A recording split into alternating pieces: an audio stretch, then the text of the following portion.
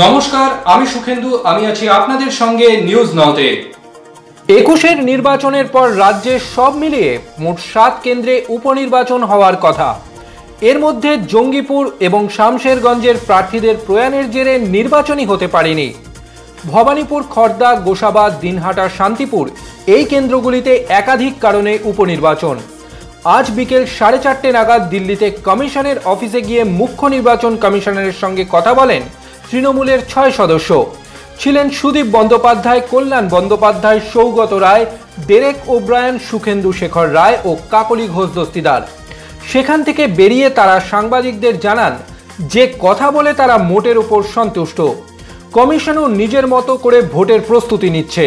তাই আশা করা যাচ্ছে দ্রুতই হয়তো রাজ্যে উপনির্বাচনের পালা সাঙ্গ হয়ে যাবে।